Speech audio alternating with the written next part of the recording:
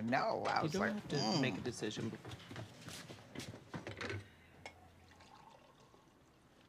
Well, Well, what? what's with the hat? Oh, this. It's nothing. it's the loudest nothing I ever saw. Boy, you just came mosey in here with a brand new hat, like you're not wearing a brand new hat. Look, I'm trying something new, okay? Just take it easy. He's right, guys. Come on, let's not go down this path. It's ugly.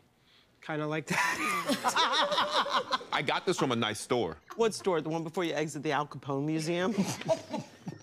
What's up, Gregory? Did you just finish bling ring in Bruno Mars's closet? I'm being brave, okay? You guys are sheep. You may want to take a long, hard look in the mirror. Better ass than you. You look like a park ranger from a cartoon, boo boo. Do you think the hat looks bad?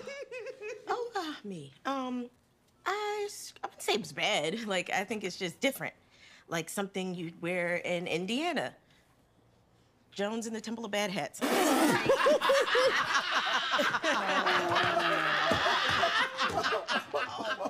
Fine. I didn't like it that much anyway. There's only one place this hat belongs.